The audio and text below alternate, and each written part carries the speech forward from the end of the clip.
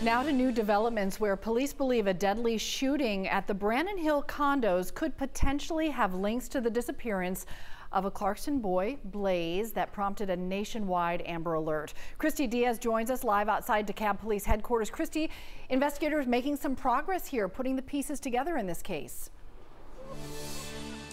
Slowly but surely, Cheryl, and we now have all three 911 calls, and you're going to hear parts of each one. This investigation now taking an interesting turn as police are now connecting it to a shooting at the apartment complex where that car was eventually found.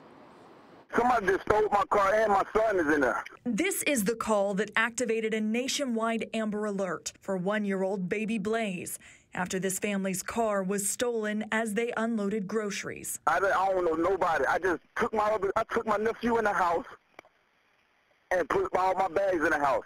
I came back outside, everything gone. The family distraught, hoping, praying for a sighting of baby Blaise. About 10 hours into the search, someone spotted the car at Brannon Hill Apartments. Hey, I'm at Brannon Hill Apartment. The SUV y'all looking for with the baby in it, uh, it's an SUV parked all the way in the back back here. The car was found, but baby Blaise was not inside. The hours ticked on until someone finally made this call. Someone left a baby in a car seat in my van.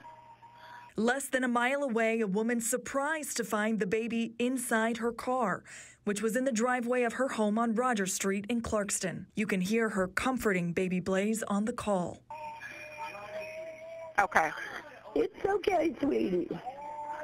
You're okay.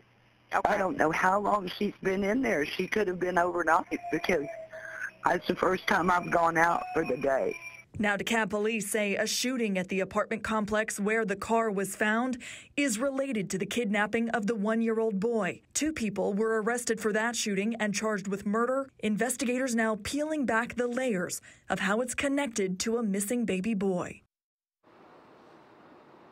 Now we push police for more information. Uh, they say the motive of that shooting is connected to baby Blaise's disappearance, but the 60-year-old victim who was killed in that shooting is not connected in any way. But right now, guys, that is all they will say.